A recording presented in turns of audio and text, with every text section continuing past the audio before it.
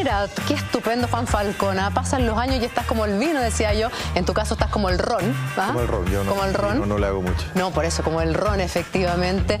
Vas a cumplir en abril 51 años y estás cada vez mejor. Estás con rutina, te estás cuidando. ¿Cómo lo haces? ahora me mandaron ahora al, gimnasio. No te creo. Para la teleserie, sí, porque demasiados meses de ocio y estaba un poquito gordito. Igual que en algunas fotos que salían por ahí que estaba medio guatón. Pero era por el personaje en esas fotos. No, pero ahora estaba por...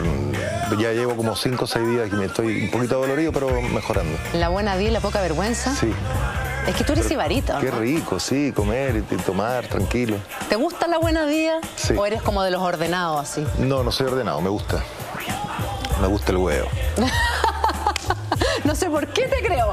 no hemos topado más de alguna vez por ahí en alguna. Por ahí, pero no hablemos ¿Ah? de eso. La vida privada no vamos a hablar hoy. No, no, no, por supuesto. Esa es otra cosa, otra historia. Pero, pero te gusta pasarlo bien, te gusta, disfrutar, eres cibarita, eres de cocinar, de comer. Me gusta harto cocinar. No sé si tanto comer, ¿ah? Me gusta más picar cositas y, y compartir con mis amigos y cocinarle y esas cosas, me encanta. ¿Y le cocinas a las conquistas? ¿Conquistas a las mujeres por ahí? No necesariamente. Primero las conquisto y después, pero les doy poca comida porque si engordan después tengo que cambiarla de nuevo y ya entonces como... Qué machista te pasaste, No, porque no, yo no tengo problema en cocinar, pero pero hay que preocuparse de que no engorden también porque la, la comida cubana engorda harto. Sí, pues. Sí. Estaba viendo, había una noticia el otro día, un pastor evangélico que decía, que los hombres que cocinan pueden volverse homosexuales.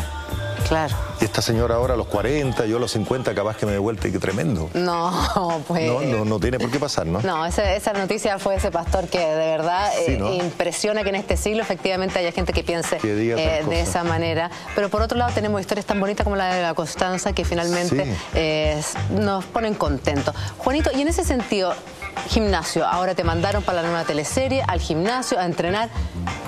¿Qué onda el ejercicio? ¿Te gusta o te cuesta? Me carga, me carga. De hecho, de levantarme todas las mañanas temprano para ir al gimnasio.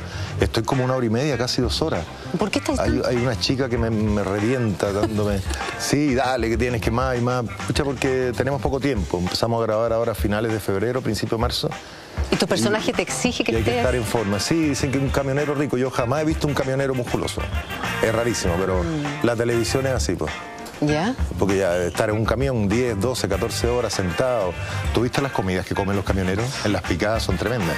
Son buenos los platos de las picadas los camioneros. Son maravillosos, pero es poco probable ser musculoso y flaco trabajando en eso. pero ¿Y en este entonces entrenamiento que te tienes para la teleserie, se acabaron tus comidas a cualquier hora, en la nochecita, eh, tu tengo una dieta tremenda, de repente tengo que comer 12 almendras. ¿Cómo me la andáis contando? Eh, sí, te dicen un puñado de hasta 12 almendras.